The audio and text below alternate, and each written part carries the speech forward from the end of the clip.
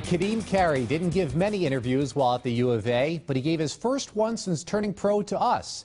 ESPN Radio Tucson Zach Clark and I interviewed Ka'Deem, who is training in California. He talked about the decision to go to the NFL after his junior year.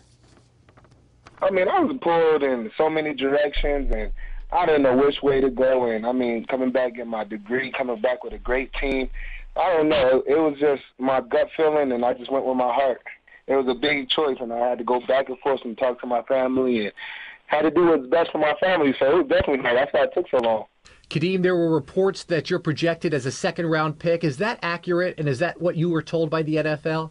Yes, yes. Um, I had a, a overall grade of a second round pick, and um, it went by eight teams watching me. So two of them actually said first, first round, and um, six of them said second, and then I had one that actually said third, third, fourth. So I mean, who knows in this uh, today's world? Ka'Deem, what did Coach Rich Rod tell you when uh, you finally told him and let him know that you were going to the NFL? Was he disappointed or excited for you, or a combination of both? Um, he was definitely both. Um, in the beginning of the year, we talked about this.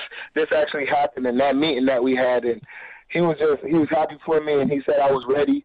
I mean, he just wanted to make sure I was sure about leaving because, of course, he didn't want me to leave, but um, yeah, he was okay with it. He was happy for me and just said congratulations. And if he's there anytime, I can go to him. Lastly, as you move forward, what give me some goals, some some goals you've set for yourself once you get to the league. Goals that I'm gonna set for myself is basically the same ones I set for uh, college football. Um, reach a reach a championship. All big people want to do that. I want to win rookie of the year. Um, actually hold the rushing title belt like I did in uh, like I did in college, and uh, just be a good teammate and a good father and all of the above.